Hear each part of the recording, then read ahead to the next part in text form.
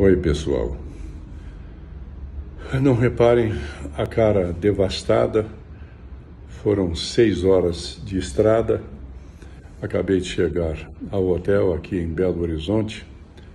Vou ficar aqui até o feriado. E entrando aqui no hotel, recebi a notícia através do meu amigo Carlos Vasquez, do Mansão Wine, falando da morte do Kevin Kevin Conroy. O, o Kevin Conroy está ligado à minha vida porque durante alguns meses eu tinha aquela voz poderosa, linda, impressionante para poder fazer as minhas dublagens e eu tinha que ficar exatamente no tempo dele. Como eu me acostumei com aquele timbre de voz. Ô oh, meu amigo, 66, poxa, já passei um bocado dessa idade.